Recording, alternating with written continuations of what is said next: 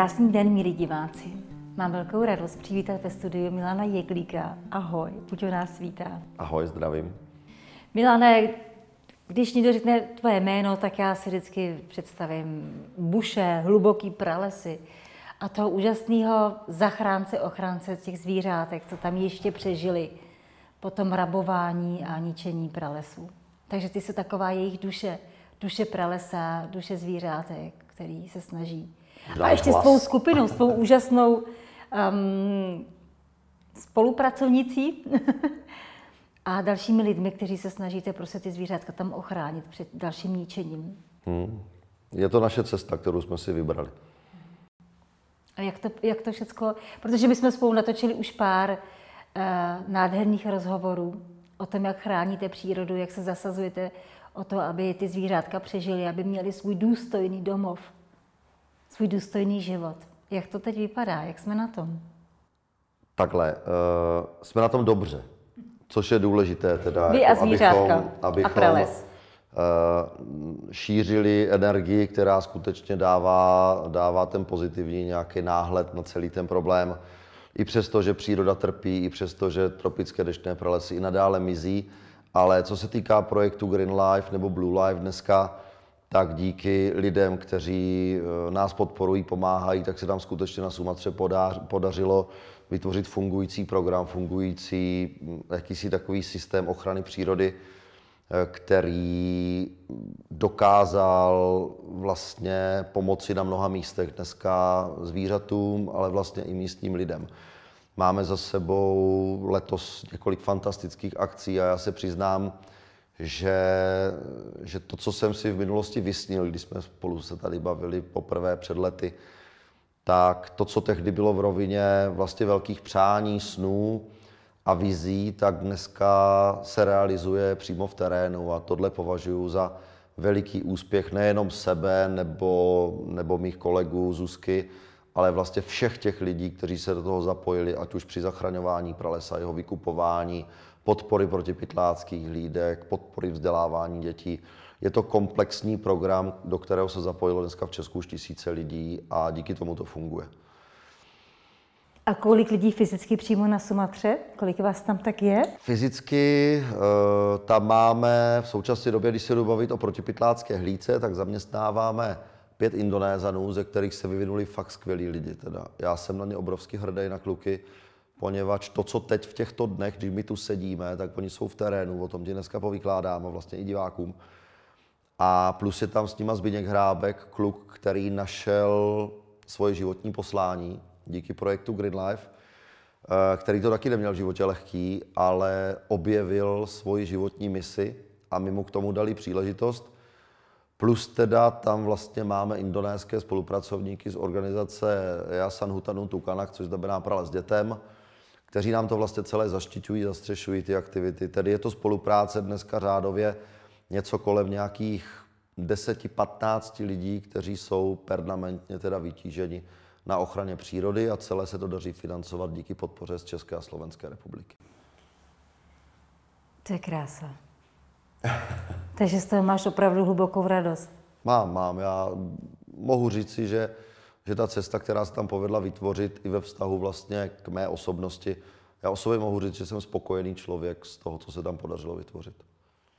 Ne, že bychom neměli před sebou spoustu práce, teda to je ještě víc než v minulosti, poněvadž se nám vlastně otevírá celá ta problematika ještě v mnohem širším spektru. Vlastně vidíme, co se děje, vidíme, proč to nefunguje, vidíme, proč se nedaří chránit přírodu v terénu na základě příliš komplikované byrokracie, nevědomosti lidí, nezájmu úřadu nebo, nebo třeba taky vyloženě zájmu těch korporátů ničit ty deštné pralesy ve jménu ekonomiky a peněz.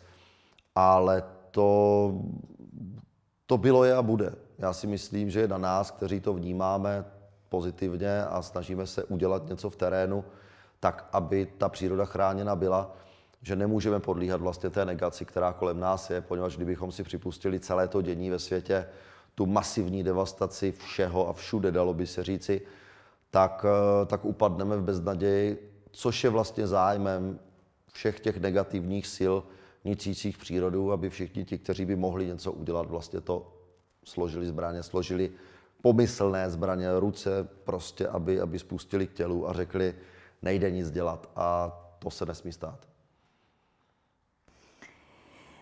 No určitě za tu dobu, za těch kolik je to let, od té doby, co jste založili Green Life, od té no, doby, co jste se poprvé vylodili na Sumatře? Příští jaro to bude 10 let, co existuje projekt Green Life. Eh, v době, když já jsem odešel do Indonésie, to ještě dlouho předtím, jsem vlastně odešel do Indonésie 2002 za potápěním, ale, ale projekt funguje od roku 2009. Můžeš nám v krátkosti říct, co se od té doby změnilo, nebo co se všechno vyloženě krátkosti, protože my tady máme už rozhovory o tom. Před... Krátkosti. Aby jsme se mohli dostat k současnosti. Fajn. Uh, celý projekt vznikl v roce 2009 díky iniciativě mé osoby a několika přátel, kterým se líbila myšlenka, že bychom tam mohli vykoupit pár hektarů tropického dešného pralesa. Když teďka udělám veliký Aby skok, se nevykáceli, že? Aby se nevykácel, ale ono tehdy to také bylo trošičku ve vztahu k tomu, že eh, já jsem řešil potápění, měli jsme potápěcké centrum, měl jsem loď, chtěl jsem vytvořit další vlastně možnost lidem poznat v Indonésii něco jiného. Ten prvotní záměr nebyl úplně stoprocentně jenom ochrana přírody, byť to k tomu směřovalo. To se stalo vlastně až asi po roce, dvou letech, kdy jsem si uvědomil, co tam máme najednou jako v rukách a obrovský, obrovský zlom celé té aktivity přišel s příchodem Zuzany. Poněvadž Zuzka tomu přinesla eh, obrovského ducha a hlavně jako, jakousi empatii a etiku. Já jsem vždycky nebyl empatický a etický člověk, byl jsem taky egoistický chlap, který, který chtěl v úvozovkách dobývat svět, ale objevovat ho a být ten první a tak dále ale vlastně díky, díky Zuzce, která mi ukázala i jiné hodnoty v životě, tak eh, se mně podařilo nějak tak postupně uh, přetvořit své vnímání světa do té roviny uh, toho, abych se sám sobě dokázal podívat do zrcadla a nemusel si lhát. To je pro mě hodně důležitý. Tedy tohle byl takový, takový start a přerod, který přicházel i vlastně se Zuzkou. A e, zlomový byl rok 2012, kdy jsme se rozhodli, že ukončíme profesní potapěckou cestu. Prodali jsme podíl z lodě a od roku 2013 jsme se rozhodli, že budeme 100% svého života, své existence a své energie věnovat ochraně přírody, pralesům a zvířat. Přiznám se, že jsem nevěděl, jak to bude vypadat, ale měli jsme tu výhodu, že jsme měli nějaký základní peníz z prodeje toho podílu lodi, který nám umožnil minimálně aspoň rok vlastně v klidu tvořit bez nějakých finančních uh, uh, klopítnutí, že bychom měli strach, uh, že se něco nepovede. Tenhle rok jsme využili maximálním způsobem. Během tohoto roku jsem potkal tebe. Během tohoto roku jsem potkal Jardu Duška, vlastně lidi, kteří nám hodně pomohli s takovou trošičku změnou filozofie, nebo hlavně mě teda. A já jsem si uvědomil, že mnohem důležitější je v životě tvořit, nežli něco bořit. To je prostě eh, souboj o energii. Já jsem vždycky byl takový bojovník, válečník a ne, že bych to ztratil, to ne, ale myslím si, že se mi podařilo to přetransformovat do té tvořivé cesty. Potom vlastně nastaly veliké změny. E, začali jsme vykupovat prales mnohem rychleji, což přišlo i s tou změnou té energie. E, dneska je to 107,3 hektarů, což je krásný začátek k dalšímu pokračování dalších let, ale nejvíc si vlastně cením eh, toho týmu, který jsme tam vytvořili a té protipytlácké aktivity, která v současné době začíná skutečně jako nabývat na, na velikém smyslu. A e, určitě tě bude zajímat, co se tam odehrává jako akčně nového teďka. Tedy my jsme tam dlouhé roky monitorovali tygry, fotopasti, vy jste vlastně podpořili e, monitorovací program oko tygra sedmi fotopastmi. Já ti ještě dlužím nějaké záběry, které bychom určitě měli prezentovat e, v cestách k sobě, ale Rádi. faktem zůstává, že ti kluci, kteří tam pro nás dneska pracují, tak během dvou let příprav, tréninku, eh, někdy nelehkých situací, kdy nechápali, co po nich i chceme, protože jsou to Indonézané, jiná mentalita, jiný vlastně způsob vnímání času. Indonézané mají ten rubber time, tedy takový ten gumový čas, naučit je disciplíně, naučit je dochvilnosti. To nebylo úplně jednoduché a vlastně za ty dva roky se podařilo vytvořit opravdu fungující tým lidí, kteří jsou schopni pracovat i v těch nejsložitějších terénních podmínkách ve jménu ochrany zvířat a přírody. A to je prostě, to je prostě fakt dobrý výsledek pro nás. Navíc v roce 2016 pro nás byl obrovský takový zlom, kdy se nám podařilo otevřít eh, to tygří, ten tygří dům, o kterém jsme asi v minulosti už mluvili, tedy to vzdělávací centrum, které se stalo základnou protipytláckých hlídek, velice, velice kvalitním zázemím. A došlo vlastně k tomu, že se nám tam přihlásil po dobrovolnickém programu Zbigněk Hrábek, o kterým bych dneska chtěl teda promluvit malinko víc, protože to je člověk, kterého si hluboce vážím, odvážný, spolehlivý a neskutečně, neskutečně aktivní člověk v ochraně přírody. Zbíně tam pro nás pracuje už dva a půl roku, za tu dobu byl vlastně pouze měsíc doma, letos v Dubnu. A Zbíně tam koordinuje neskutečné věci. To, co jsme si tolik přáli, se vlastně plní. V dubnu, 11. dubna letošního roku jsme získali tu vytouženou vládní licenci Smart Patrol pro ochranu Národního parku Gunung Kleuser a e, vykonávání oficiálně toho monitoracího programu s těmi fotopastmi. No a od té doby se nám naprosto změnil život. A i klukům vlastně tam, protože... Co to nám... znamená, když to je oficiální? Oficiální znamená, že, že tam s váma začnou počítat a začnou využívat vašeho potenciálu k ochraně přírody, že už to neděláte Ve větším někde, rozsahu. Ve větším rozsahu. Prostě najednou zjistíte, že jste fakt ve hře. No a ono to ještě teda chviličku trvalo, měli jsme v úvodu mm, květen, červen, ještě jsme měli trošku takové problémy s některými úředníky z Národního parku, ale my jsme vlastně na konci července 31. letos eh,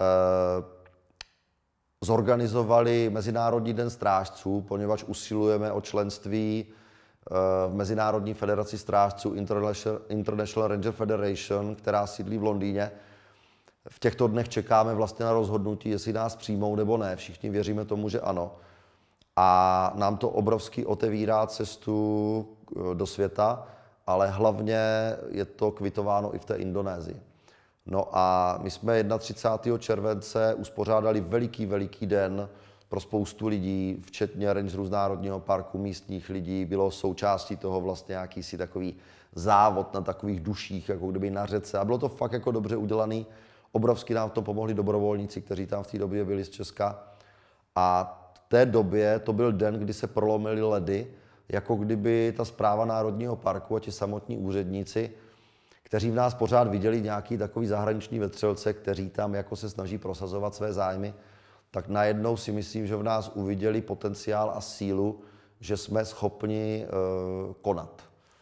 Nejenom ve vztahu k ochraně přírody, ale ve vztahu také v komunikaci s lidmi, kompenzace škod za škody způsobené zvířaty a tak dále. Prostě ten projekt je opravdu komplexní, včetně teda vzdělávání lidí, dětí a tak dále. No a došlo k tomu, že eh, hned vlastně v tom červenci a srpnu se rozběhla taková, takový řetězec událostí. A já dneska po několika měsících, eh, co kluci odvádí, téměř permanentně jsou v akci, jo, opravdu nebyli moc doma, tak já dneska můžu říci, že máme spolehlivý tým, kterému teda velí ten Zbyňa a velí tomu dobře.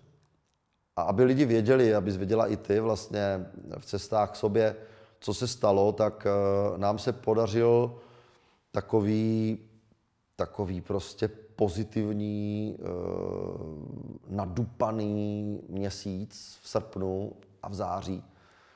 A pokračuje to i nadále, kdy eh, nejdříve jsme dopadli pytláky, pytláky ptáků, kteří chytali do sítí vlastně ptáky na prodej. Národním parku.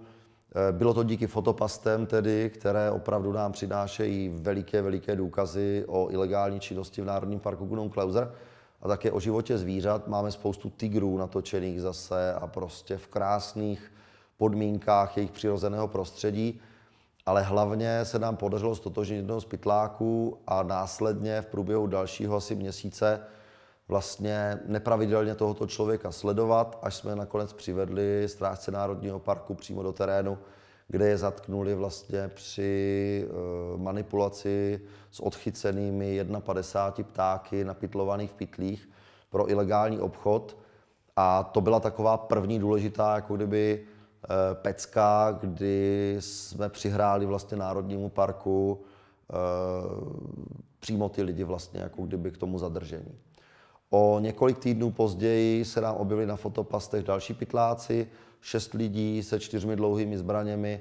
To se začalo rozpracovávat a v době, když se mělo čekat na tyto lidi v pralese, tak kluci byli povoláni na operaci Tiger. A to byl teda velký fičák, protože to jsme, to jsme si ověřili, že kluci zvládají mm, jako široké spektrum ochrany přírody, nejenom někde patrolovat, nejenom někde hlídkovat, ale my jsme vlastně měli vyřešit problém se strženou krávou, zabitou tigrem mimo hranice Národního parku a opět prostě došlo k situaci, kdy lidé panikaří, bojí se toho tigra, eh, mají tendence prostě se toho tigra zbavit, otrávit ho, zabít ho a podobné věci. A my jsme kluci vlastně strávili 22 dní v terénu, kdy opravdu téměř nebyli doma a měli jsme za úkol celou tu oblast uzavřít, eh, monitorovat s fotopastmi, s termokamerou, kterou máme od letošního ledna a vlastně celou tu událost nějakým způsobem vyhodnotit a uzavřít a kompenzovat škodu tomu majiteli té krávy. Tohle se perfektně povedlo a jsou z toho krásné záběry, které určitě uvidíte. No a došlo vlastně k tomu, kdy jsme po druhé za sebou ve velice krátké době zprávě Národního parku vlastně ukázali, že ten tým prostě je, je oporou v ochraně přírody. Když už to vypadalo, že bude klid a kluci si na chviličku odpočnou, tak neuběhlo snad ani pět dnů a my jsme se dozvěděli díky Zbiňkovi a jednomu novináři z provincie a Čech, že v palmových plantážích jsou v nouzi sloni, nevěděli jsme kolik, a to je teďka jako téma, které bych chtěl lidem vlastně osvětlit a otevřít, poněvadž tam jsou hluboké souvislosti. Představ si, že se dozvíš jako člověk, který miluje zvířata, miluje přírodu, že někde hrozí smrt dvěma slonům, kteří vlastně žijí v palmových plantážích ve zdevastované krajině, tam, kde lidé e, tu přírodu zničili už v průběhu posledních třeba pěti, deseti let. A začali jsme se pídit, co se tam vlastně stalo. A vznikl z toho neskutečný příběh, který je plný slz, bolesti, nepochopení, ale taky naděje. A celý ten příběh vlastně funguje tak, že od roku 2012, což bychom vůbec nevěděli v té době, co se tam děje, tak eh, v té době do té oblasti začaly vstupovat ve velkém společnosti s palovým olejem, a začali neskutečně rychlým a brutálním tempem likvidovat tropický deštný prales v oblasti Subulu Salam. E, to nejsou velké kopce tam, to jsou spíš takové nížiné deštné pralesy, takže pro ně to bylo mnohem jednodušší než, než někde v horách, kde ten přístup pro ty stroje je e, složitý. Takže to tempo bylo rychlé. A v té době tam žila osmičlená sloní rodina. A v průběhu několika let vlastně těm lidem se podařilo z těch osmi slonů eh, sedm slonů zabít. Ten způsob je, je opravdu jako nehezký, když vám někdo zabíjí takováhle zvířata, protože buď je otráví, většinou napustí třeba melouny nějakými pesticidy, prostě nějakým jedem a otráví je, a nebo je chytají do pastí kde ta zvířata prostě buď umřou přímo v těch pastech, a nebo je prostě v té pasti potom nějakým způsobem e, zlikvidují. E, když si představíme, jak inteligentní a nádherné zvíře slon, jakou má paměť, co o nich všechno víme dneska už, tak já si třeba osobně dokážu představit, že někdo tomuto zvířeti jako ublíží. že ho někdo třeba trofejově zastřelí. Nebo že ho někdo otráví. Prostě mně to připadá, jak, jak, kdybychom, jak kdybychom likvidovali prostě své blížní. Protože ta zvířata jsou naši blížní, co si budeme povídat na téhle zemi, byli tu dřív než my. A teď si představ, že tam zůstala s velkou pravděpodobností poslední mladá slonice, která tam bloumá a bloudí e, zničenou krajinou.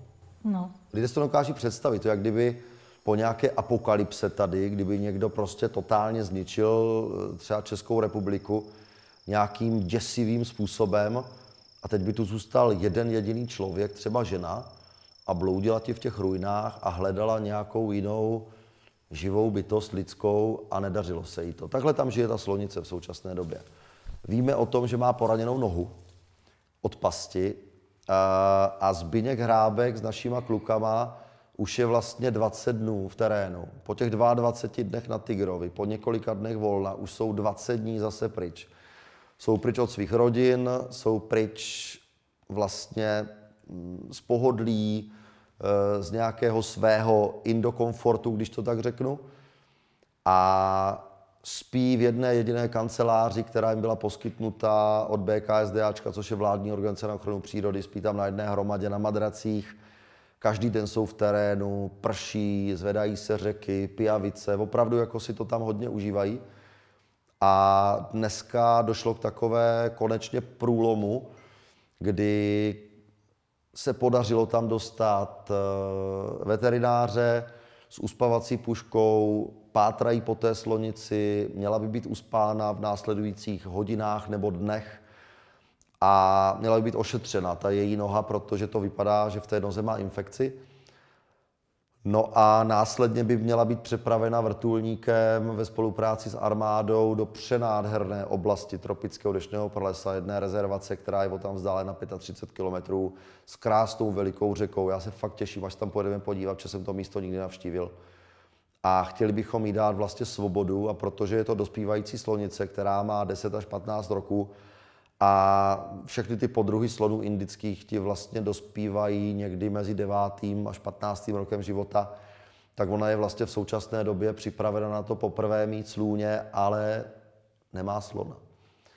A pokud ji dostaneme zpátky do toho terénu, kde ti sloni žijí, tak prostě úplně nejkrásnější výstup by byl, kdybychom se jednoho dne dozvěděli, protože by na ní měla být umístěna pravděpodobně nějaká minikamera, která by sledovala další její pohyb, tak kdybychom se dozvěděli, že, že se to povedlo, že žije, že je zdravá a že má třeba i slůně a dokázala se začlenit do nějaké sloní rodiny, která tam žije, tak by to byl prostě kouzelný příběh. Ale to je zatím v rovině přání. Ale nám se ty přání plní, takže a je šance, že oni přijmou, jak to je mezi slony? Přijmou cizí uh, přijmou, slonici? Přijmou sloni přijmou. Sloni v podstatě o slonech je známo, že adoptují vlastně i slůňata a podobné věci. Jsou to mimořádně inteligentní zvířata, takže tam bych ani neměl strach, že by jako byla nějakým způsobem vypuzena. Prostě, víš jak, prostě... Oni mají velkou duši prostě. Jsou to zvířata, jsou čistá. No, jsou. Uh, tedy obrovský, obrovský dík klukům za tu práci, kterou odvádějí. Asi 14 dnů to vypadalo, že nám vůbec úřady nepovolí tu záchrannou akci jako kdyby vykonat. Nepochopitelně. Tak ono to stojí hodně peněz, že jo? No ale to platí stejně, všechno to platíme my a platí to další organizace, které na tom spolupracují. Jedná se to asi sedm organizací. Vláda neplatí nic. Jo. Aha. Tedy vlastně všechno je to, my třeba do toho dáváme, během 14 dnů lidi v Česku vybrali asi 180 tisíc korun na to, které jsme poslali Zbyňkovi na, na celou tu akci, takže všem obrovský dík za to, že se zapojili. Možná třeba ještě budeme potřebovat další podporu ale já si začínám teďka uvědomovat, že to, co se tam děje, je obrovsky důležitý. Poněvadž pokud se nám podaří zachránit tuto slonici, v Indonésii se nikdy nic takového ještě neuskutečnilo. Nikdy nikdo ne, nepřepravoval slona vrtulníkem uspaného někam do divoké přírody z palmových plantáží. A pokud se to podaří, tak vytvoříme jakýsi precedent. A ukážeme vlastně i těm úřadům, i té vládě, že to jde. A já vidím prostě další vizi, další kroky, že v té zemi bychom mohli podpořit vznik vlastně fungujícího záchranného systému pro zvířata v nouzi, pro slony, kteří vám opravdu jako trpí a bloumají a bloudí v těch palmových plantážích, které jsou opravdu strašným průšvihem. A vlastně dochází k tomu, že toto bude zlom. Prostě já jsem o tom přesvědčený. Uh, jsem obrovsky vděčný za to, že jsme tu příležitost dostali. Ty úřady to nakonec povolili, byť zase se to zpomaluje, zase je to byrokratická cesta. Největší peklo já dneska teda fakt jako, mě už se začíná zdát o kulatým razítku, jako jo, poněvadž to, a to známe všichni tady z Česka. Jo, jo, to ten Matrix, no, to, to prostě tomu jde. Že vlastně, že vlastně tak úžasným myšlenkám brání eh, nějaký kulatý nesmysl v rukou člověka, který vůbec třeba ani nechápe, jaký to má význam. Jo. To, je, to je fakt jako smutný, ale je to tak. No a teď vlastně každým dnem, já jsem neskutečně napružený v tuhle dobu, já si připadám, jak kdybych omládl o 20 let, že vlastně každý den je nový, každý den je fascinujícím způsobem neočekávaný. Je to, je to prostě obrovská hra o život zvířete a vy víte, že to můžete ovlivnit. Tohle se snažíme vlastně sdělit i lidem, že můžeme ovlivnit běh událostí. Eh, byť někdy působím skepticky na lidi, protože vím věci, které oni ani třeba nevědí a kolikrát by mi to ani nechtěli uvěřit. Ale, ale já jsem v tomhle hluboký optimista a věřím v tomhle případě v lidi, že vlastně pokud se propojíme, tak jako si spolu vždycky vykládáme, že je důležité propojit ty, ty činnosti, tak eh, až to lidi pochopí, tak dokážeme cokoliv prostě. Ano. A pokud my dokážeme jako malá neziskovka, která nebere žádné granty, nebere žádné dotace, není zamotaná do součinnosti s žádnými WWF a spol a vlastně eh, tvoříme to všechno jenom z podpory lidí, dětí ve školách, na projektu NEPS a tak dále, tak když to dokážeme my, tak to dokáže každý prostě. Já jsem o tom dneska přesvědčený. Takže ty, ta slonice nám dává teďka mnohem víc, než jenom dobrý pocit z její záchrany. Ona nám dává obrovskou víru v to, že dokážeme dělat velké věci v cizí zemi. A když dokážeme dělat velké věci v cizí zemi, proč by lidi nemohli dělat velké věci ve vlastní zemi? Že? Ale je třeba vyburcovat tu iniciativu, je třeba lidi, lidi uvědomit o tom, že ta energie tu prostě je, že pokud lidé propojí síly, tak jsme nezastavitelní. Takže víš, jak je legrace na tom, že si k tomuto člověk musí dospět na druhé straně planety při záchraně slonů a tigrů, ale ono vlastně to jsou hluboké životní zkušenosti, které tě nabíjí energii, kterou třeba v minulosti člověk fakt jako postrádal, poněvadž nevěřil ve změnu. Dneska v ně věřím. A hlavně každý máme svý poslání. Jo. Ty, ty k těm tigrům máš blízko. Určitě jsi byl jednou sám součástí jejich komunity třeba si žil v pralese jako člověk, jako, jako tygr, nevíme, ale prostě, že když každý děláme to, co máme, to, na co máme vlohy, to, čemu rozumíme, nebo k čemu máme vztah srdíčkový. Ale já se ti přiznám, já se ti přiznám, že já se v té divoké přírodě cítím opravdu jako doma. Já tam necítím nějaké strachy, necítím tam nějaké obavy nebo nejistoty. Pro mě prostě to společenství těch živých bytostí, stromů a zvířat je, je naplněním vlastně e, mojí lidské přirozenosti. Já se mnohem nekomfortněji cítím v koloně aut e, nebo ve městě, kde cítíte a slyšíte obrovský hluk, e, nesourodost lidí, miliony různých pohledů a spekter názorů, které se neustále konfrontují. Tohle v přírodě necítíte. Tam je jednota. A já mám takový pocit, že vlastně ta příroda je pro nás největším učitelem.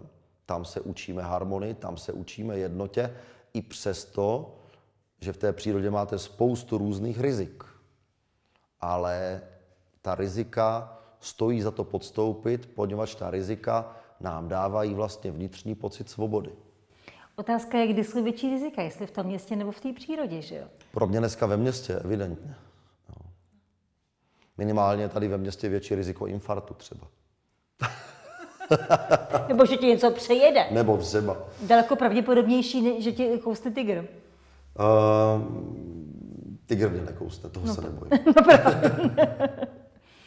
um, A, na, na, a navíc eh, ta podstatná věc je, eh, že existuje na, všude rovnováha, čili eh, jedna část populace něco ničí a druhá vyvažuje na ten druhý extrém, čili to musí dávat dohromady nebo to musí podporovat, ochraňovat, léčit. Já doufám, že, já doufám, že tohle si lidi uvědomí, jako kdyby, jo, protože my dneska víme, že té devastace je prostě příliš mnoho. A, Bohužel víc než té než druhé strany. Víc že? než té ochrany, nebo hmm. víc než těch pozitivních činů v téhle branži. Ale faktem zůstává, že všechno se bude odvíjet od, eh, od vlastně přístupu té široké veřejnosti. Já třeba dneska, víš, jak já to prostě vidím. Já vidím, jak je to jednoduché všechno. A... Jenom sebrat tu odvahu, viď? asi to je zásadní. Já si myslím, že odvaha je jako kdyby hlavní spouštěcí mechanismus Přesně. jakékoliv změny. A protože... Dobrou vůli a odvahu. Víš, jak my jsme oni od malička připravováni. Dítě, které ti projeví odvahu, tak je okamžitě nějakým způsobem peskováno, je manipulováno. Chceme po dítěti, aby bylo vlastně hodné, což znamená, aby se chovalo podle norem někoho, kdo potom dítěti chce, aby nezlobilo, nebo aby nevzdorovalo. Odvaha ve spoustě případech má vlastně ten nádech toho vzdoru. A v nás je to od malička jako kdyby manipulováno a ubezdušováno ta odvaha, až nakonec jednoho krásného dne jsou z nás dospělí lidé, kteří skutečně tu odvahu ztratí, jenomže odvahu ztratíme potom jako ve všech spektrech svého bytí. A já dneska vidím ten veliký problém, že vlastně ti odvážní lidi, takoví ti rafani, takoví ti, takoví ti, kteří Bojovníci. mají tu hybnou sílu, tak oni jsou ve většině případů na té druhé straně té barikády. Že jako kdyby ta devastace na sebe nabaluje, protože zaplatí ty lidi, tak nabaluje ty odvážné, kteří ale nemají ty morální hodnoty. Nemají v sobě tu etiku, nemají v sobě tu empatii a tu odvahu využívají tím ziskuchtivým směrem. A to je pak devastace. Tedy mm, potřebuju, potřebuju vyloženě jako kdyby eh, vzedmout ten zájem lidí o to, abychom konali a ukazujeme lidem, že to jde. Víš, jak já ti, já ti řeknu takový matematický vzorec, mě to hrozně baví tohle. Já jsem jako dítě nesnášel matematiku ve škole. Já na to neměl hlavu. Ale dneska vidím, že vlastně díky těm číslům dokážeme lidem vysvětlit některé věci. Když si představí, že třeba protipytláckou hlídku, tygří hlídku, podporuje v České republice nějakých, dejme tomu, dohromady 500 lidí. Jo. Byly doby, kdy jsme měli sen, aby to bylo 300 lidí, dneska je to 500 lidí, chtěli bychom tisíc nebo více. Ale když si uvědomíme, že vlastně každý ten člověk, který podporuje tu hlídku, tak s minimální částkou 85 korun dává na druhé straně planety práci chlapům, kteří opravdu Eh, střeží a chrání ohrožené druhy zvířat z terénu a dělají to dobře. A to je jenom 500 lidí. Představ si, že by to bylo 5000 lidí nebo 50 tisíc lidí, což přitom není žádné velké číslo. 50 tisíc lidí po 85 korunách. Představme si ten měsíční rozpočet protipytláckých aktivit. Takhle můžeme jít dále. Ale to je vlastně ten moment nejsložitější, přesvědčit ty lidi, že to, co děláme, není žádný systémový podraz. Já se lidem nedivím, že se bojí, protože těch systémových podrazů zažili za poslední desetiletí spoustu. Ono se to vlastně tomu systému obrovský hodí, ta nevíra lidí. Mm. Přesně tak. Ta ztráta důvěry v jiný lidi, že jo, prostě to je perfektní, v tom se perfektně manipuluje, v tom se úžasně živí strach a hlavně se v tom živí beznaděj. A ti lidé, kteří žijí v té beznaději, tak potom obrovsky podléhají konzumnímu způsobu života. Jdou jejich na radosti něco nakupovat, něco konzumovat, něco prostě svým způsobem likvidovat. A tohle se přesně hodí do krámu té mašinerii toho ničení. Tedy až lidi pochopí, že mohou být v té druhé vlně, v té, která tvoří, v té, která chrání, v té, která souzní nebo spolupracuje, tak já věřím tomu, že když to ty lidi jednou jedinkrát zkusí a pochopí, jaký je to dar lidské spolupráce, že potom se ta vlna toho zájmu spustí. Ale mám obavu, že to ještě chvíli bude muset trvat, aby si lidi uvědomili, že ta cesta toho konzumu je opravdu nejenom destruktivní, ale ona je sebedestruktivní. Mm-hmm. A prázdná. A prázdná, naprosto. Prostě bezvýchodná, bezvýsledná, prostě jenom... O ničem. Jenom koupit a vyhodit, koupit a vyhodit, to je prostě masakr. A požírat, pojídat, neustále vylučovat, že jo? To je konečná. to já vždycky říkám, to jak kdyby mluvila, jak, jak kdyby já to říkám přesně stejně vlastně. Je ten, jak všechno pohlcujeme a vylučujeme a takhle. No. Ano, ten konzum nás mm-hmm. učí být vlastně tím nejjednodušším Přesně. organismem. Ano. Přijímání a vylučování. A mezi tím černá díra. Jo. Hodně lidí tomu podlehlo. Ale myslím si, že, že pořád mají lidi šanci nalézt tu cestu k tomu světlu, nebo prostě k té pro mě moc důležitý slovo k té pravdě, eh, která, jak říkám, pro mě je tak viditelná, že vůbec nechápu, že to ostatní lidé nevidí. Ale jsme zaciklení, lidi jsou vyděšení, mají strach o práci, mají strach o takové ty systémové hodnoty. A když vlastně toto opustíme, tak se zbavíme strachu a tím se osvobodíme a pak budeme moci tvořit. A východiskem toho je mít otevřený srdíčko Určitě. a dobrá vůle. A Určitě. to je taky jediná cesta, že jo? A z toho ven, z toho konzumu. A vychovávat děti v pravdě. To považuji za nesmírně důležitý krok, nelhat dětem. Prostě i když ta pravda bolí, i když tomu dítěti musíme říct ne, prostě nedostaneš to, protože proto, tak eh, je to mnohem přijatelnější a lepší, než tomu dítěti zalhat nebo mu koupit něco, o čem sami víme, že to třeba není správné, ale jenom proto, že chceme mít do toho dítěte klid, tak to uděláme. Myslím, že ty děti jsou jako kdyby klíčovou, klíčovou cestou. Samozřejmě to dlouhodobá cesta, ale pokud mohu lidi o něco požádat, je tak, abychom nelhali dětem. To je prostě, to je velké zlo. A můžeme jim nabídnout úplně jiný hodnoty. Teď to není všechno o konzumu, že jo? Jít s nima do přírody, právě tohle s nima zažívat, jo? To je to nejcennější, co člověk může tady na planetě zažívat. To, to společenství. To Já společenství řeknu, mezi člověkem a, a, a dalšími lidmi, nebo mezi člověkem a to zvířaty. je, to je velká pravda tohle. Já, já ti třeba řeknu, co, co je pro mě jako kdyby v mém životě moc důležitá fáze, jako kdyby k tomu, abych mohl dělat to, co dělám. Jsou to pro mě vlastně eh, dva lidé nebo tři lidé. Za prvé to jsou moji rodiče, kteří se mi v dětství obrovsky věnovali. Dneska už jsou staří, prostě jsou unavení, ale eh, co znám z vykládání třeba od mámy, tak táta se mi obrovsky věnoval a od malička mě bral do přírody a vysvětloval mě každýho brouka, každou kobylku, každou kitku. A to si myslím, že pro mě v tom věku třeba těch dvou, tří let, které já si nepamatuji, ale považuji je za klíčové eh, v tom, co dneska dělám. Eh, myslím si, že, že jedním z největších jako problémů současnosti je, že rodiče nemají čas na své děti.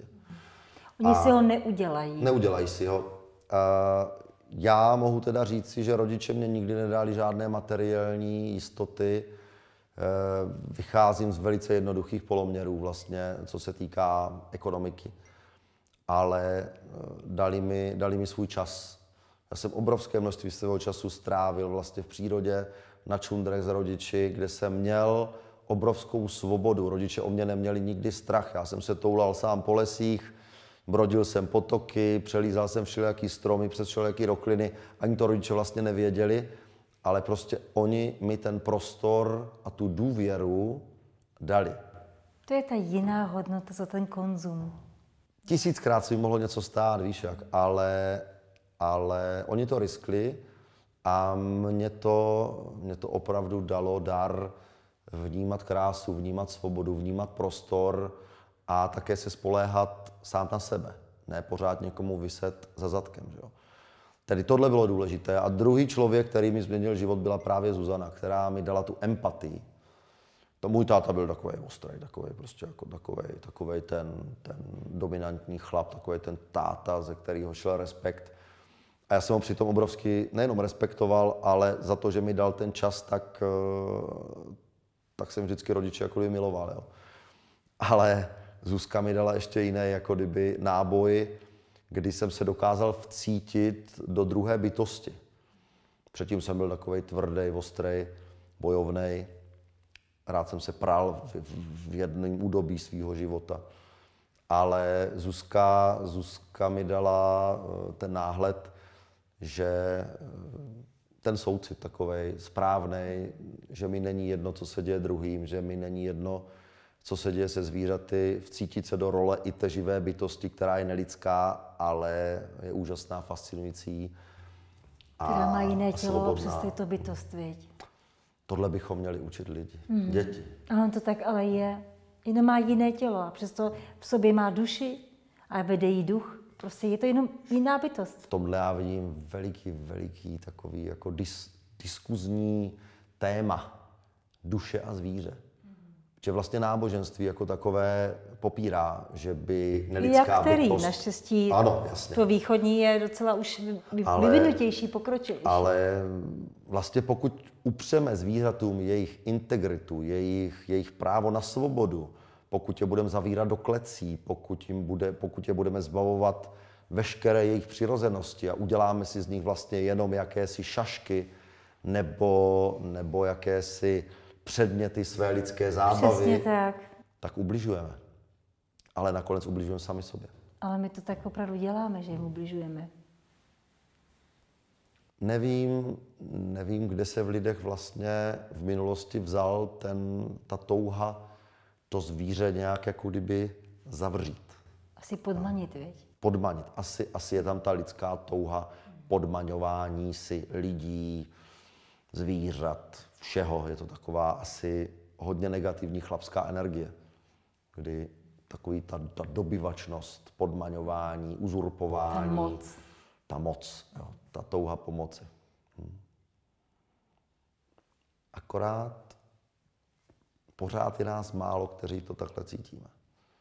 Ale já mám pocit, že nás je čím dál víc, že rok od roku, měsíc od měsíce přibývá těch lidí, kteří se probouzí a kterým dochází, že něco v tom konzumu je hodně špatně.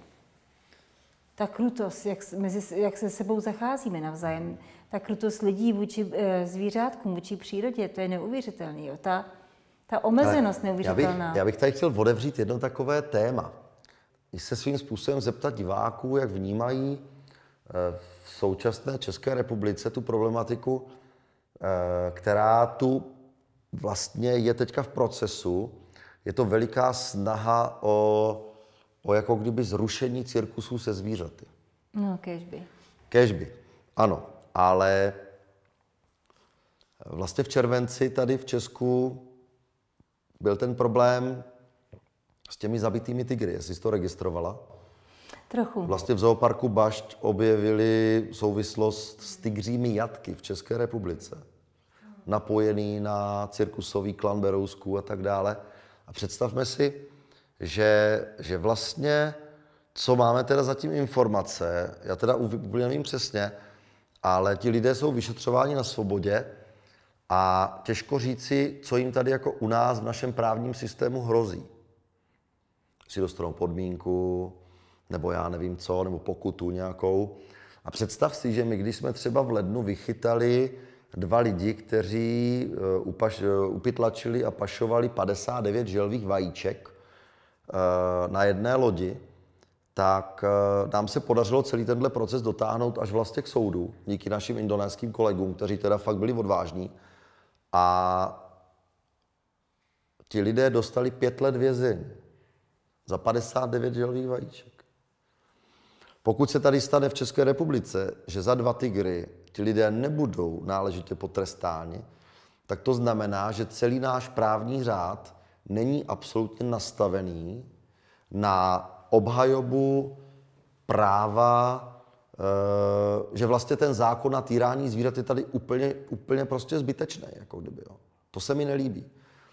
No a e, já bych měl takové veliké přání skutečně, aby lidé se nad tímto zamysleli, čemu vlastně dáváme energii.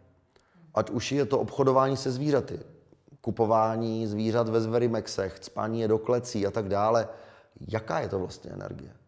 Co z toho získáváme my když máme doma nějaké zajatce v klecích, okřídlené bytosti, ptáky, které zavíráme do klecí. Lidé mají doma kočkovité šelmy, tyranie zvířat v cirkusech, kteří jsou od malička drezurováni a není to na žádný pamlsek. Ale dokud toto nevyhodnotíme jako lidi, dokud toto nepochopíme, tak se nikam nemůžeme posunout. Ne ve vztahu ke zvířatům, ale sami k sobě. My tím popíráme základní práva a svobody živých bytostí, ať už čtyřnohých, okřídlených, anebo nás lidí. Protože svoboda by měla být tou nejzákladnější hodnotou. A já si uvědomuju, když se podívám na dnešní společnost, jak málo se hovoří dneska o svobodě. Bylo tu období po revoluci, Určitě. které si pamatujeme, kdy prostě slovo svoboda bylo skloňováno ve všech pádech, každý den. Byla to obrovská touha, obrovská radost po něčem, po něčem prostě volném. Dnes už se s tím tak často nesetkávám. A to, to je na zamyšlení. Protože systém konzumu eh, to vůbec nepotřebuje. On nechce vůbec, aby se lidé zamýšleli nad tím, aby byli svobodní, protože konzum sám je zase eh, nesvobodný systém. To je jenom jiná forma systému, jestli to je kapital, eh, kapitalismus, socialismus. To je pořád jedno a to samé. je to vlastně, manipulace, jasně. Ano, manipulace s lidmi. Mě hele teďka v, v desetiletý nebo dvanáctiletý kluk ve škole na našem projektu NEPS odpověděl neskutečným způsobem na otázku vlastně, eh, co je to sleva. Bavili jsme se s dětmi o tom, že když nám něco nabízí někdo zadarmo v obchodě, že, že je to vlastně směšný, že je to manipulace, sleva a tak dále, že k tomu, aby někdo mohl dát slevu, tak to musí být napřed předražené, že jo, aby se Přesně mu to pořád tak, vyplatilo. Ano. A ten malý kluk ve 12 nebo v 10 letech mi neuvěřitelně inteligentním a trefným způsobem sdělil, že ta sleva je vlastně prostředek k manipulaci zákazníka. Neví, kde to slyšel. Já jsem na něho koukal, říkám, tebe jednou budu volit jako ministra financí, uh, zapíšu si tvoje jméno. Ale eh, jak je možné, že to pochopí 12-letý kluk a jak je možné, že to prostě nechápou dospělí lidi a neustále na to reagují a vlastně podléháme tomu konzumu a já úplně to vidím, ten život v té slevě, což pro mě znamená jako nehodnotný život. Já chci žít plnohodnotně, já chci být svobodný, já chci chránit přírodu, planetu, já chci spolupracovat s lidmi. Já nechci být svázaný strachem nebo nějakou slevou. Prostě mně to připadá nelogické. Máš pravdu, to je takový levný život, viď? Levný život. Zlevněný život. Zlevněný život.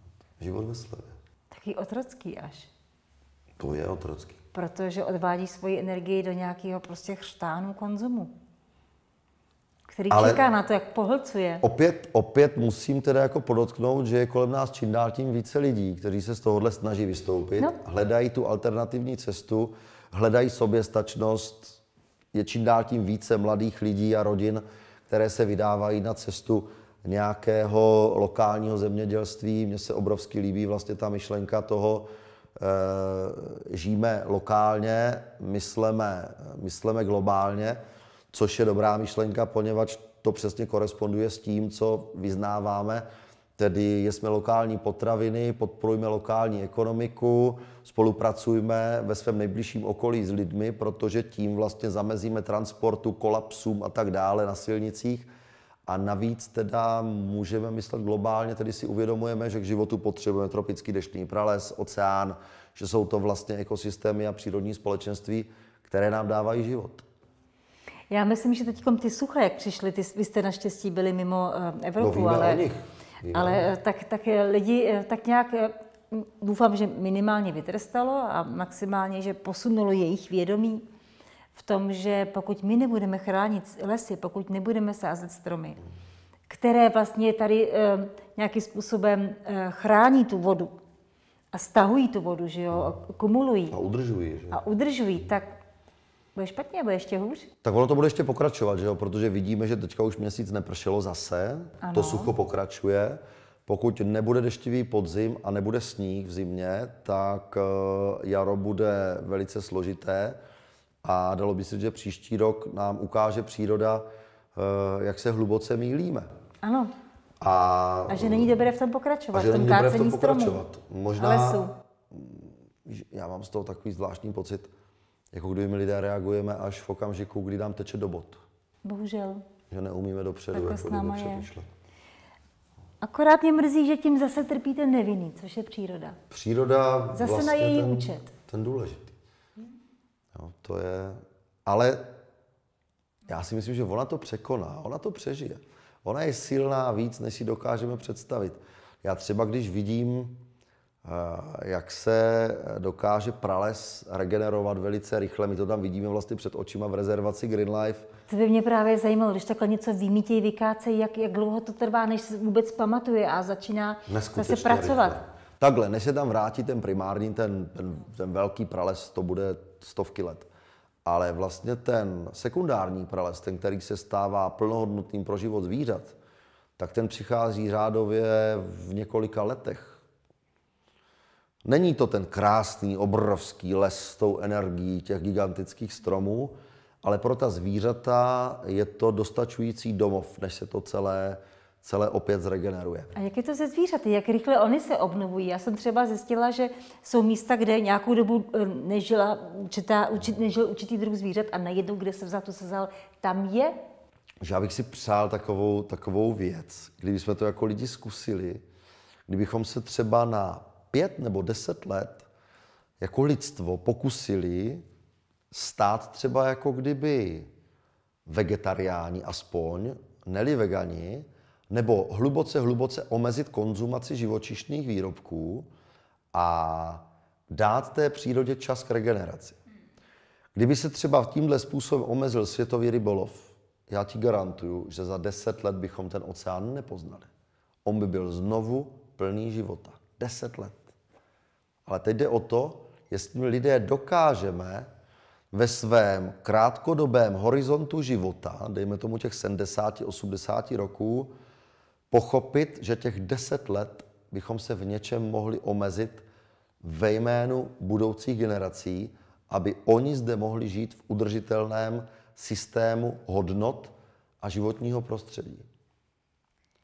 Co by tu ale musel být trošku jiný systém než systém konzumu.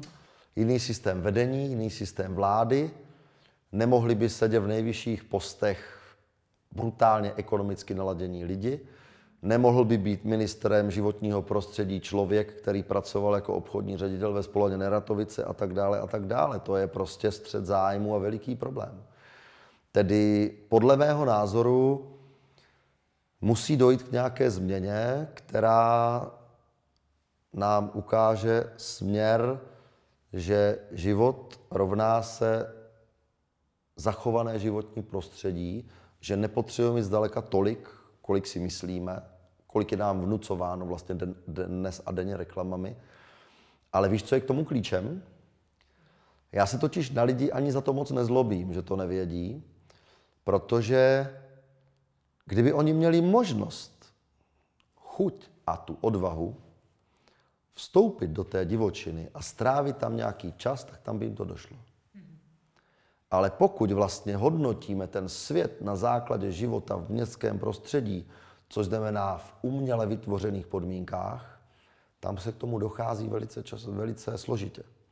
Pokud děti budou mít vlastně normu života zvířat, zvířata v zoologické zahradě, pokud toto pro ně bude symbolem života divokých bytostí, nemůžeme nikdy pochopit význam divoké přírody. Nemůžeme poznávat život zvířat na základě klecí. Prostě myslím si, že dneska mnohem lepší je vidět nějaký nádherně zpracovaný film od skvělých lidí, režisérů a kameramanů v nějaké tři nebo 4D podobě někde v kině, kde vidíš tu přírodu a tu divočinu opravdu v té, v té přirozenosti, v té kráse, v té akci, než prostě vidět toho línýho, přežraného, zuboženého tygra někde ležícího v kleci, který za celý svůj život prostě ujde asi tak miliontinu toho, co ten tygr v té divočině. To prostě není normální a přirozené. Ale dokud toto bude směřovat k těm dětem jako informace přirozenosti, tak vlastně už ty děti nepochopí, co je to svoboda. To je jako kdybychom chtěli dělat průzkum eh, přirozeného života svobodného člověka někde s nějakým vězněm na Mírově a z toho udělali, z toho udělali nějaké vědecké pojednání o etologii chování člověka. Stačí s dělníkem z kolbenky nebo, nebo, nebo s úředníkem. Jo, jo. Nebo s politikem. No to, to, to by bylo divoký. Tedy opět jsme zpátky. Ukažme ten svět v pravdě. A my jsme se teďka rozhodli, to je taková velká věc, která by možná cesty k sobě mohla zajímat. Eh, my od příštího roku odevíráme program, který se jmenuje Oko země. Oko země, mně se líbí ten Jardy Duška, ten, ten jeho, ta jeho hra se slovy.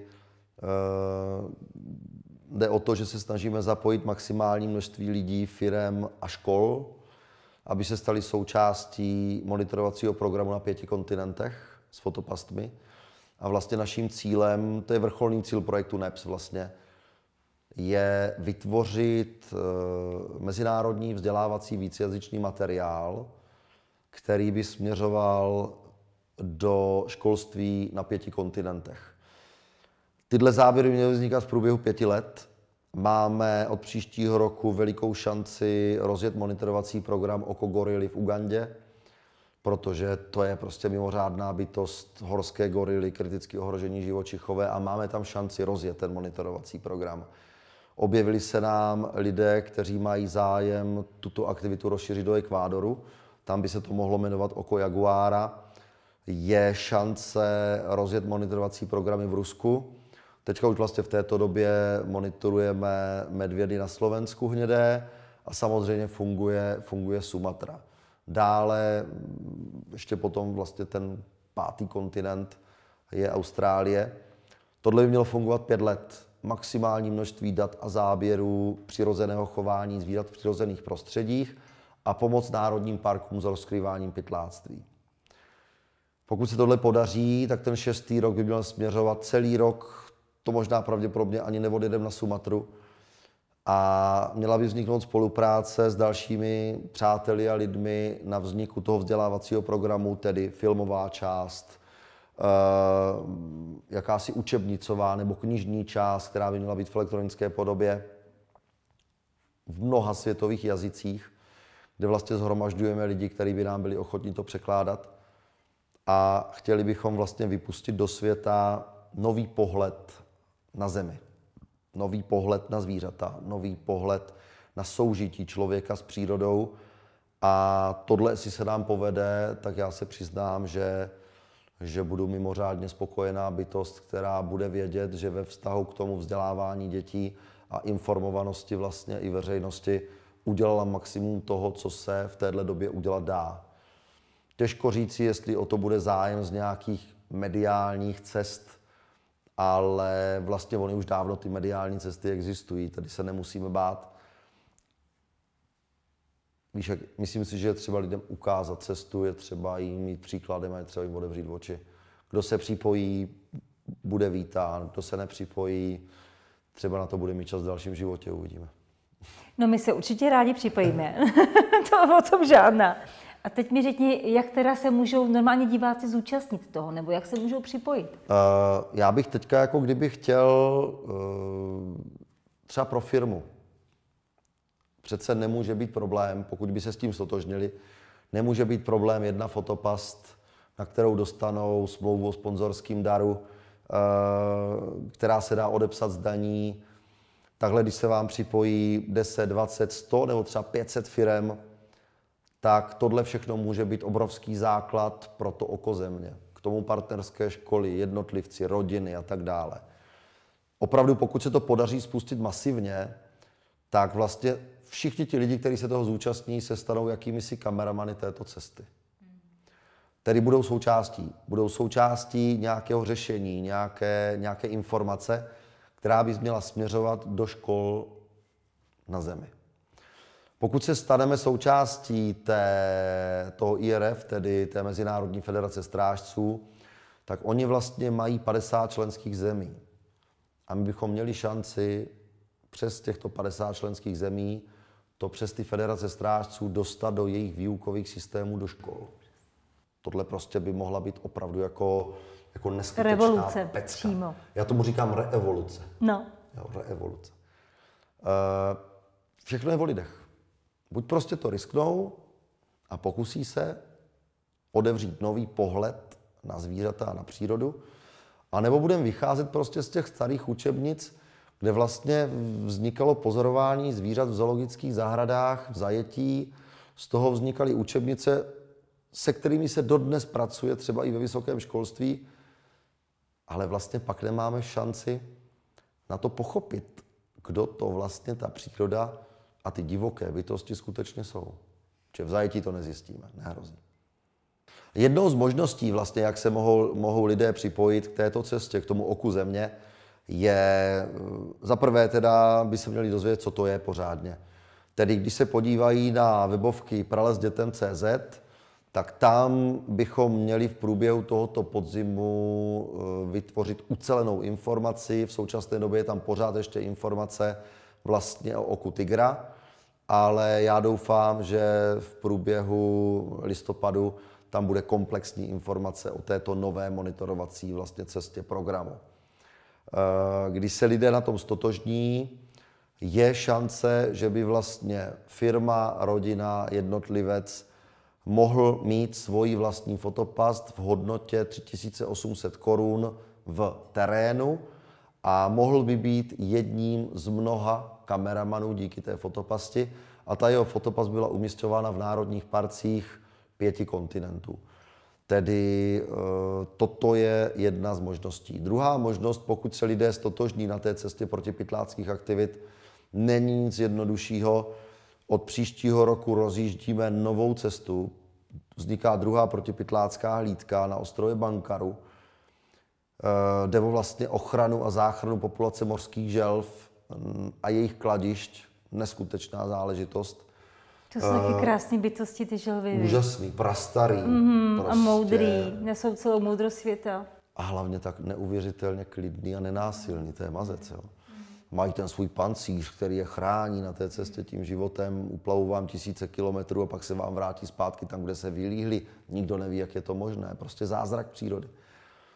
A pokud se lidi do tohohle zapojí, já tomu říkám kilo na želvu.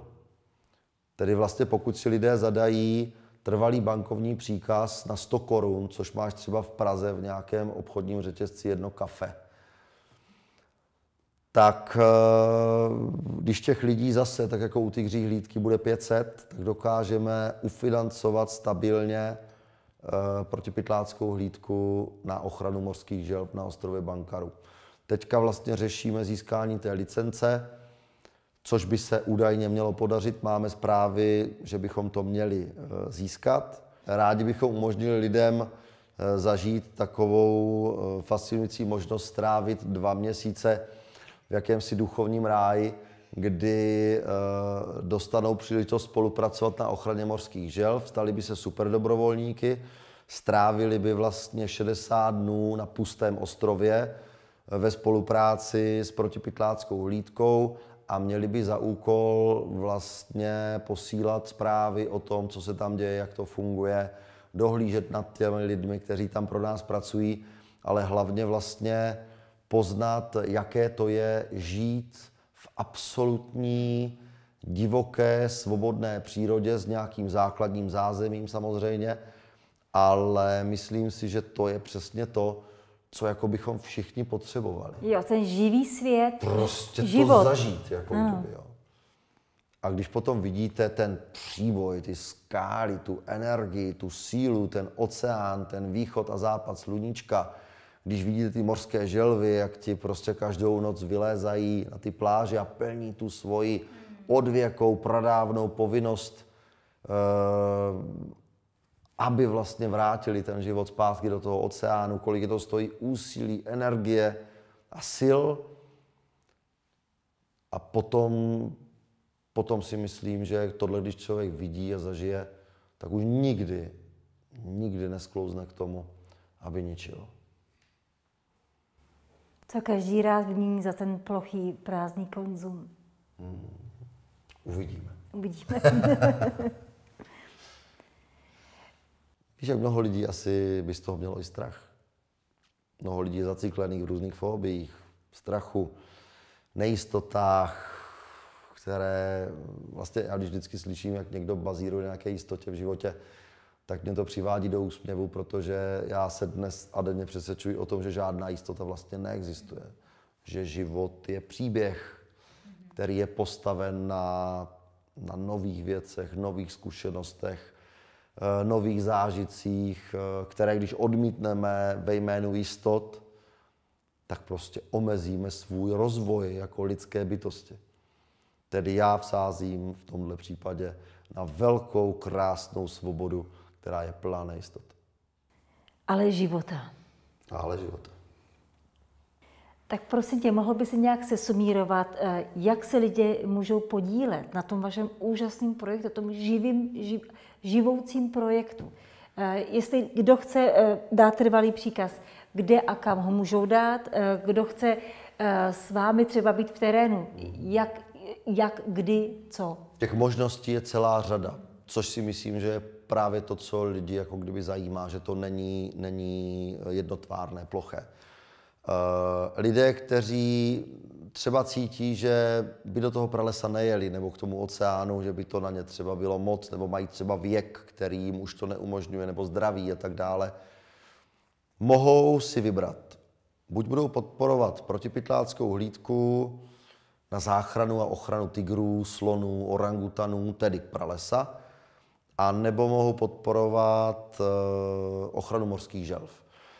O mořských želvách se dozví na webovkách oceándětem.cz, zachran želvu tam najdou, tam jsou veškeré informace.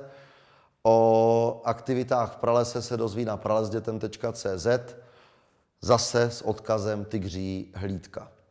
Tedy tohle jsou základní informace. Opravdu jsme hodně aktivní na Facebooku, minimálně teda v době, kdy jsme tady, takže pokud si najdou Facebook pralesdětem.cz, jsme tam vlastně téměř dnes a denně k zastižení, abychom jim zodpověděli otázky a byli v nějaké komunikaci. Eh, pokud by někdo si řekl, já to chci zažít, prostě já to chci vidět, jestli to třeba vůbec existuje, že jo? jestli ten jehlík nekecá, tak uh, máme i tuto možnost, poněvadž každoročně od ledna do března a od půlky května do konce září probíhají na Sumatře dobrovolnické programy, kterých se můžou lidi zúčastnit. Ta cena toho dobrovolnického programu, vzhledem k tomu, že jsme organizace, která nepobírá žádné dotace a granty, tedy musí být ty dobrovolnické programy eh, zaplacené lidmi, takže vlastně dneska nějaký 26-denní dobrovolnický program, z toho 12 dní v pralese, 12 dní u oceánu, a z toho asi dva dny různých přejezdů prostě na místě, tak vychází, pořád se to vejde do nějakých 30 tisíc korun. 26 eh, dní, 30 tisíc korun, dešný prales, oceán, mořské želvy, orangutani. Myslím si, že, že to není tak děsivé. Ještě k tomu, když navíc lidi vědí, že ty peníze, které z toho zbývají, a z toho peníze zbývají, když je ten program naplněný, tak to jde opět na chod projektu Grid Life, rezervace Grid Life, podpory těch aktivit tam. My jsme takový fenomén se Zuzkou, eh, protože někdo by si mohl třeba říci, že, že budu živit eh, nějakýho Milana s nějakou Zuzkou někde, někde v Indonésii, aby si tam jezdili. Prosím vás, ani korunu vlastně z projektu, a když lidi zachrání prales, zaplatí kus pralesa nebo protipytláckou hlídku, Eh, nikdo z projektu Green Life, nikdo ze spolku Prala s dětem z toho nemá finance. Jediný financovaný člověk v naší organizaci je jediný skutečný zaměstnanec sedící v Brně v kanceláři, úžasný člověk, nějaký Štěpán. A tento kluk jediný z nás pobírá výplatu. Já a Zuzka vlastně jsme financováni z našeho školního projektu NEPS, kde třetina peněz jde na uhrazení našich životních nákladů, třetina jde na vytváření nových materiálů, tedy nových filmů a tak dále, a třetina jde na podporu projektů na Sumatře. Tedy tohle je takový náš, aby lidi věděli, jak to funguje, že se nemusí bát toho, že, že by platili Jeglíkovi e, nějaký cestování po světě. Takhle to není. Navíc e, ty peníze, které si vyděláte na školách, tak jsou velmi tvrdě vydělány, protože to je opravdu... Není to jedno. Vy téměř každý den, když jste tady v Čechách, jezdíte Každý den. školách. Od pondělí do pátku jsme ve školách. Poctivě. Máme režim jako kdyby učitelů, kteří mm, máme třeba za den A to je fakt dřina, přednášek. no. Je, je. Je a navíc, eh, když, víš, jak ty to znáš, když jsi pochopená, tak je to krásný. Ale když narážíš na to nepochopení, když narážíš na To ten spíš konflikt, u těch dospělých, než už dětí, viď? Uh, u dospělých, někdy u učitelů, ale někdy u těch dětí, které vlastně jsou konfrontovány s těmi informacemi, které si přinášejí třeba z domu, eh, ohledně zrovna toho zajetí zvířat a teď od nás jako u lidí z terénu, kteří žijí část roku v divočině, se dozvídají, že já bych třeba v životě žádný divoký druh zvířete vlastně jako nebyl schopen dneska už zavřít někam do zajetí, poněvadž já bych se mu prostě nemohl podívat do očí. Přesně tak. A tohle je někdy A jako proč kdyby... bys to taky měl dělat? Že? Samozřejmě, jako není důvod.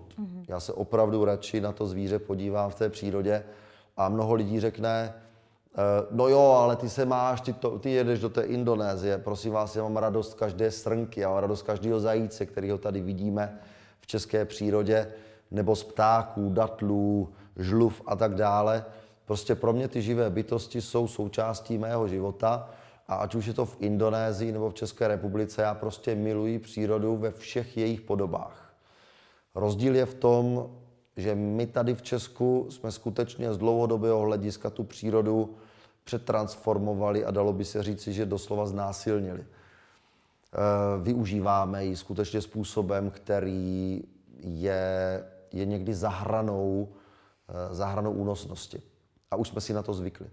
V té Indonésii pořád ještě můžeš narazit na tu panenskou divočinu, na ty obrovské prastaré stromy, na ekosystémy, které nebyly člověkem zničeny. Ať už jsou to bažiny, mokřady, oceán, korálové útesy, tropický deštný prales. Tam prostě, když seš, tak máš pocit, že se zvrátila prostě k prazákladu naší existence.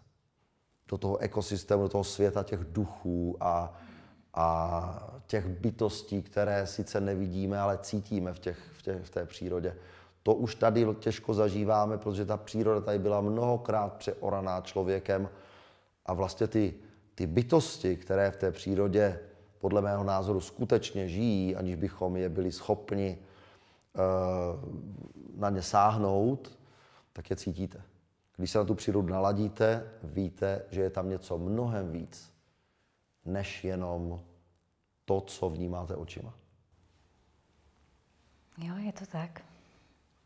A když si někdo bude chtít u vás koupit kameru, aby mohl sledovat eh, jako fotopast, myslím? Eh, V tomhle já vidím opravdu jako velikou možnost zapojení se, ale toto není zdaleka pouze o ochraně přírody a zvířat, byť taky, hlavně na těch protipytláckých aktivitách, ale v tomhle já vidím tu obrovskou vizi toho sdělení, toho vzdělávání těch dětí v těch školách. A já už dneska prostě cítím, že, že už vlastně nejde jenom o to vzdělávat děti v Česku. My už musíme prostě opustit tu bublinu, opustit vlastně ty hranice, které jsme si tady vytvořili na základech nějaké historie a tak dále. A v tom vzdělání bychom měli přikročit opravdu jako ke globální aktivitě. Protože já si myslím, že vzdělání o přírodě, o zvířatech, o životě, o základních principech naší existence si zaslouží každý člověk na této planetě. Pokud se tak jednoho dne stane, máme šanci, aby ta cesta byla pochopena vlastně ve všech lidských společnostech, ve všech lidských náboženstvích. To je to, co se dneska vůbec neděje. Lidské síly jsou roztříštěné, eh, nejednotné. eh, Opět se vlastně utápíme v jakémsi stavu nedůvěry, nevíry, strachu. Na tom se nedá nic postavit. To je prostě destrukce. Milane, moc ti děkujeme za samozřejmě tobě, Zuzce a celému týmu, a za tu obětovou a možná nikdy nekonečnou a nekončící práci. Nekonečný příběh. Nekonečný, Oblíbený jo. film z dětství. Jo. Pro přírodu a, a tak dále. Prostě děkujeme moc. A rádi se budeme podílet na tom, alespoň pasivně z domovů. To není pasivně. Vy umožňujete lidem, aby konali aktivně, tedy ta cesta je propojená, to není pasivní cesta. Ale myslela jsem tím alespoň tohle. Přispět. To je víc, než si dokážete představit. Tak děkujeme. Já děkuji.